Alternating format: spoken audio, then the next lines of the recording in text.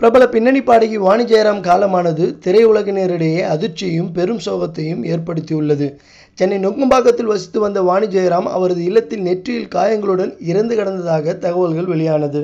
இது குறித்து ஆயிரம் விளக்கு போலீசார் விசாரணை நடத்திய போது அவரது வீட்டில் பணிபுரியும் பணிப்பெண்ணிடம் விசாரணை நடத்திய போது அவர் எப்பொழுதும் காலை பத்து மணிக்கு வந்து வேலை முடித்துவிட்டு பனிரெண்டு மணிக்கு திரும்பி செலுத்தி விடுவதாகவும் அதுபோலத்தான் இன்று காலையிலும் பத்து மணிக்கு தன்னுடைய வேலைக்கு வந்ததாகவும் வீட்டின் காலிங் பெல்லை வெகு நேரமாக அழுத்தியும் வாணிஜராம் அவர்கள் அதை திறக்காததினால் பணிப்பெண்ணிற்கு சந்தேகம் வந்து அவருடைய செல்போனுக்கு தொடர்பு கொண்டுள்ளார். வாணிஜயராம் செல்போனை எடுக்காததனால் பணிப்பெண் தன்னுடைய கணவருக்கு ஃபோன் செய்து அந்த நம்பருக்கு ஃபோன் செய்யும்படி கூறியுள்ளார்.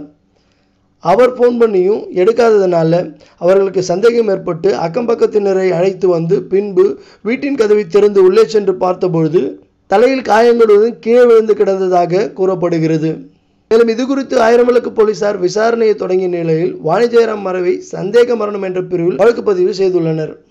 முதற்கட்ட தகவலில் வாணிஜெயராம் அறையின் படுக்கையிலிருந்து நிலை தடுமாறி விழுந்ததாகவும் அப்பொழுது அருகில் உள்ள டேபிளில் தலை அடிபட்டு நெற்றியில் காயத்துடன் விழுந்ததாகவும் சொல்லப்பட்டது. இந்த நிலையில் தான் அவரது உடல் பிரேத பரிசோதனைக்காக சென்னை ஓமந்தூரார் அரசு மருத்துவமனைக்கு அனுப்பி வைக்கப்பட்டது. மருத்துவ சிகிச்சை எதுவும் எடுக்காமல் நல்ல உடல்நலத்தோடு வாணிஜெயராம் இருந்த நிலையில் தலையில் காயங்களுடன் கீழே விழுந்து கிடந்ததாக பணிப்பெண் கூறியுள்ளது.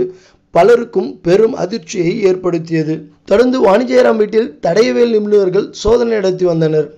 இந்த நிலையில் அவரது உடல் பிரேத பரிசோதனை அறிக்கைகளின்படி தலையில் பலத்த காயம் ஏற்பட்டுள்ளதால் அவர் உயிரிழந்ததாக தெரிவிக்கப்பட்டுள்ளது. வாணி ஜெயராம் படுக்கை அருகே இருந்த இரண்டடி மேஜை மீது அவர் விழுந்ததால் தலையில் படுகாயம் ஏற்பட்டதாகவும் இதனால் தான் அவரது மரணம் ஏற்பட்டதாகவும் அவரது மரணத்தில் எந்தவிதமான சந்தேகமும் இல்லை என்றும் காவல்துறையினர் தெரிவித்துள்ளதாக தகவல்கள் வெளியாகியிருக்கிறது. பத்தொன்பது மொழிகளில் பத்தாயிரத்துக்கும் மேற்பட்ட பாடல்களை பாடி அநேக ரசிகர்களின் உள்ளங்களை கவர்ந்தவர் தான் வாணி ஜெயராம் அவர்கள். நான் பாடும் பாடல்கள் பொருள் நிறைந்த பாடல்களாக இருக்க வேண்டும்.